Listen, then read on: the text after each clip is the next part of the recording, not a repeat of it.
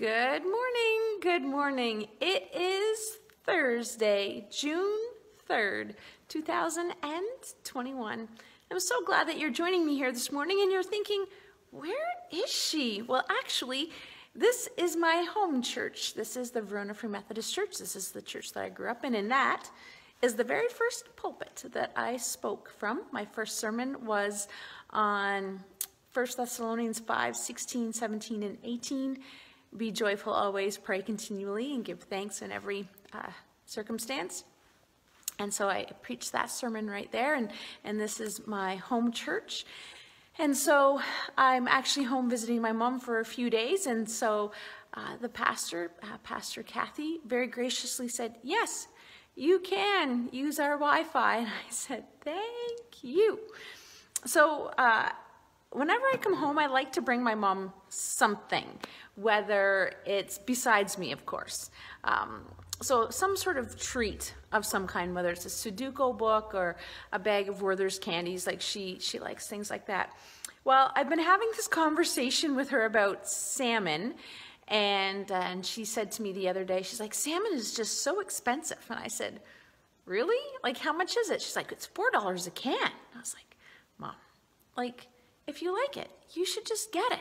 She was like, oh, no, no, no, like one can of week. And, and so she's always been very, very good with money. So I can totally understand uh, why she's only buying one can of week. And, and so I thought, you know, me being the good daughter, or at least trying to be a good daughter, I would buy her a can of salmon and bring it home to her.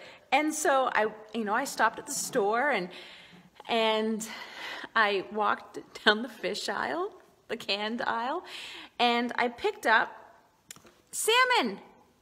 I don't know if you can see that. So this is pink salmon, wild pink salmon, skinless, boneless. And I'm like, surely, like, she's going to be so excited when she sees this. And so I come home and we have supper and I get my can of salmon and I hand it to her and she looked at me and she's like, I'm like, it's for you, it's a gift. And she's like, oh. I was like, that was not the response I was hoping for. And I said, is there something wrong? She's like, I don't like pink salmon. I'm like, what? She's like, no, I like red salmon. I said, there's a difference? And she said, yes, there's a difference. She's like, I have a can, it's over there. So besides the size of the can, so this is sockeye salmon, and this is pink salmon. Yes, there is a definite size difference. Um, and so I actually Googled it. I Googled this. And I said, what is the difference between pink salmon and red salmon? First difference is pink salmon, I don't know if you know this, is actually two pounds lighter than red salmon or sockeye salmon. So I was like, okay.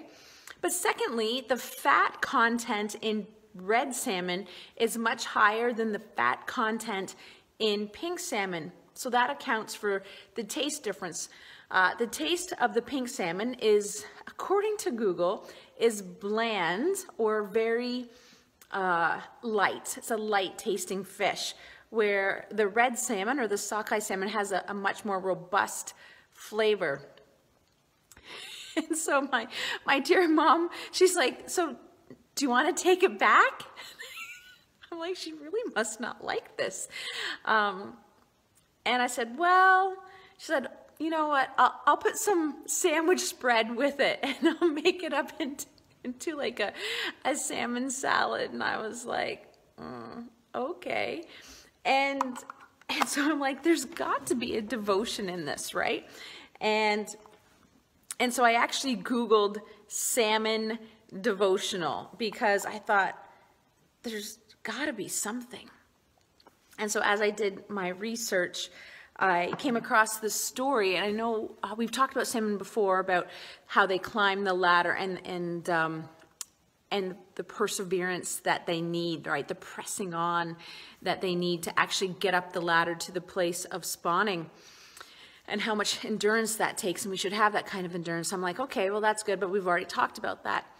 And so as I'm just sort of Google surfing, uh, I came across this story of how, and I didn't know this, but maybe you knew this, that salmon spawn in the exact same spot where they were born.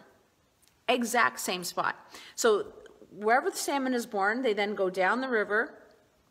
And for some, if they're in the eastern part of Canada, through the Great Lakes and out to the Atlantic Ocean, or if they're in the west, they go out to, to the Pacific Ocean. And then when it's time for them to spawn, they actually mi migrate, swim back, and they look for the exact river they came down and swim up into the exact stream to the exact spot where um, the gravel bed that they uh, were born out of. And it's kind of a mystery. Now, some of the research says that it's thought that maybe they rely on genetic coding or celestial navigation, which is kind of cool, so by the stars. Uh, and I'm like, how do they see the stars? But anyways, uh, but they can see in the dark, right? Technically. Um, electromagnetic current and a strong sense of smell. So it could be a combination of all four of those, but they get back to the exact same place, which I find fascinating. In fact, one study was done that uh, some of the eggs were, were taken out of the original place where they were, were laid and hatched somewhere else. And those fish, and I don't know how they figured it out, but they actually swam back to the exact same spot where the eggs were laid. Right? And the devotion went on to say, How amazing is it that God created salmon with this innate ability to know, to figure out the exact spot from which they came?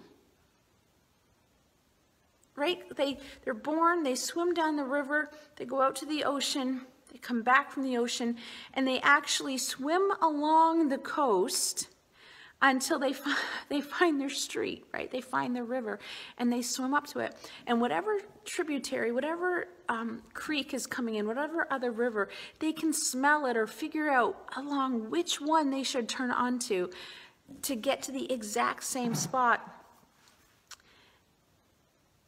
and then the devotion went on to say, How much more does God care for us? Right? It goes back to that passage in Matthew where it says, You know, his eyes on the sparrow. How much more does he care for you? Not a single hair will fall from your head without him knowing it, right? And if, if the Lord can seek, so the, that, the other passage is talking about provision.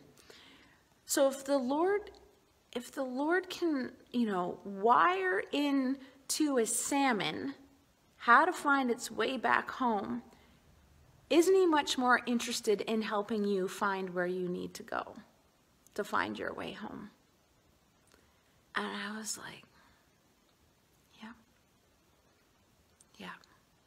Right? So often we stand in awe at nature and how God has created nature and for some reason we we don't get the connection if that is how well he takes care of nature how much more will he take care of us listen to some of these verses luke 1 79 and this is zachariah says uh, jesus came or is coming to give light to those who sit in darkness in the shadow of death to guide our feet in the way of peace right? Jesus actually came, it says, I'm the light of the world. Whoever follows me will never walk in darkness, but will have the light of life, right? Jesus came to lead us out of darkness.